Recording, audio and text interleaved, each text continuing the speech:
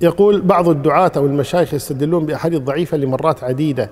هل هذا عدم لعدم الثقة في علمهم أو عدم أخذ فتوى أحيانا يكون هذا العالم يعني يظن أن هذا الحديث أحيانا يكون الحديث مختلف في صحته. فهذا يحكم بصحته وهذا يحكم بضعفه. أو يكون هذا العالم يظنه صحيحا. طيب؟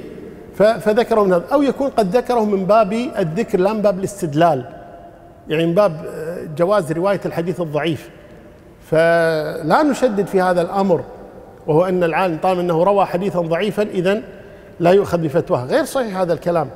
ولكن لا شك أن الأفضل في طلبة العلم والدعاة والعلماء أنهم يحرصون على الأحاديث الصحيحة في ذكرها للناس. وإذا ذكر حديثا ضعيفا أن ينبه على ضعفه يقول للناس هذا الحديث ضعيف لأن قد تبني عليه أحكاما أحيانا. حتى لو ما بنيت أنت حكما. ومن طريف ما سمعت أن أحد الإخوة دعاة يقول كنت في درس درس يقول هو أثناء الدرس ذكرت حديثا قلت وقد ورد حديث فراش الأعزب من نار.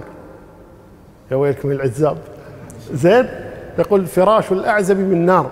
ثم قلت لهم ولكنه حديث موضوع مكذوب على الرسول صلى الله عليه وسلم.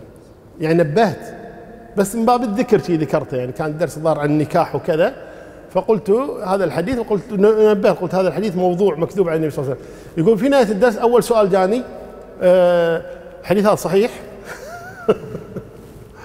يعني أحيانا بعض الناس ما تستوعب حتى لو قلت الحديث موضوع ما ينتبه. لذلك الأفضل لا شك عدم ذكرها.